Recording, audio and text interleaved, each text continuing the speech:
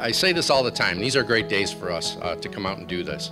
Um, and it's really a testament to St. Louis Children's that we've been here multiple times and that you've won a grant of this magnitude. So we wake up every day and we worry about, hey, how many cars are we going to sell today and are we getting to our month-end numbers? And none of that seems too important on a day like today. It's only through the efforts of everybody involved that we can get to this point, and uh, I would like to now invite up Dr. Todd Druley, winner of this year's $1 million Quantum Grant Award. I'd like to invite up all the Hyundai dealers.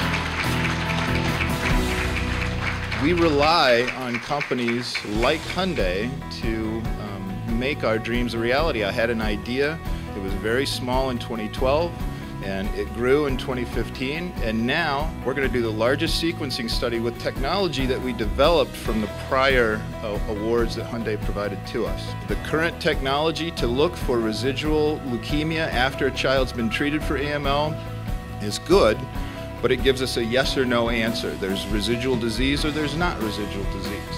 And we've developed a technology that improves DNA sequencing by 100 fold. So now we can tell you the gene, the mutation at very, very precise numbers so that hopefully physicians can say, we're not going to give the child bigger dose of non-specific, highly toxic, damaging chemotherapy. We have exactly the right drug for that mutation in that residual disease.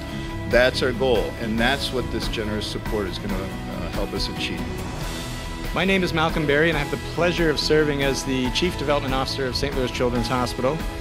We have so much to thank Hyundai for, not least of which is the nearly $3 million in transformational philanthropic support they've provided our outstanding pediatric cancer researchers. I was diagnosed with stage 4 non-Hodgkin lymphoblastic lymphoma. Today I stand here five years in remission and pediatric cancer free.